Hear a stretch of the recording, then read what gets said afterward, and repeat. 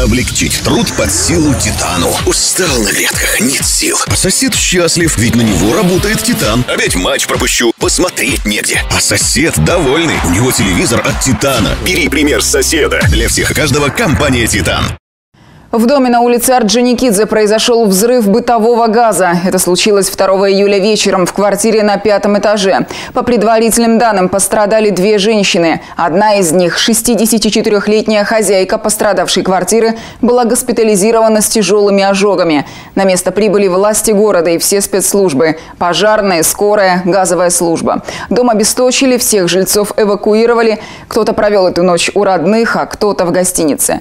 Все подробности в нашем первом материале. Жильцы дома номер 6 по улице Орджоникидзе пытаются прийти в себя после испытанного шока и думают, куда теперь идти ночевать. Всех их экстренно эвакуировали и запретили возвращаться в квартиры. Слишком опасно. В 17.10 на пятом этаже произошел взрыв бытового газа. Выбило окна на балконе и в комнатах. Пострадали также и соседние квартиры этажом ниже. Пожарные зафиксировали следы воспламенения. Нас выгнали из квартиры. Ну, сами понимаете, надо же проверить, нет ли утечки. На место прибыли все оперативные службы города, пожарные, скорая помощь, газовики. Дом отключили от электричества и газа. При происшествии пострадали две женщины. Одна из них – хозяйка квартиры на пятом этаже, 64-летняя пенсионерка. Ее с тяжелыми ожогами госпитализировали. Жильцы допускают, что, возможно, она и стала виновницей происшествия. После ЧП ее без одежды вывели из подъезда. По словам соседей, ранее она заявляла о намерении покончить с собой. Она хотела покончить жизнь.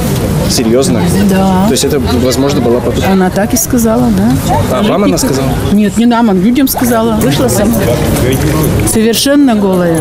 Вместе с оперативными службами на место с целью оценки ситуации выехали губернатор Игорь Васильев и глава администрации города Дмитрий Осипов. После обследования здания было принято решение о введении на территории жилого дома режима повышенной готовности. Жильцам предложили разместиться в гостинице «Губернская» с полноценным питанием. Однако многие предпочли остановиться у родственников и знакомых. Я пытаюсь понять, какое количество людей необходимо разместить. У кого нет возможности, чтобы я сразу понял, сколько человек. Нам бы просто зайти, кое-что взять. Да, там. нам тоже. Это уже тоже. после принятия решения. там. Известно, что газовое оборудование в доме было проверено в сентябре прошлого года, и все было исправно. Отселенные квартиры сейчас находятся под охраной полиции, дом оцеплен. После ЧП Следственный комитет начал проводить проверку. Следователи устанавливают причины случившегося, устанавливают обстоятельства произошедшего, рассматриваются различные версии. По результатам проведения проверки будет принято процессуальное решение.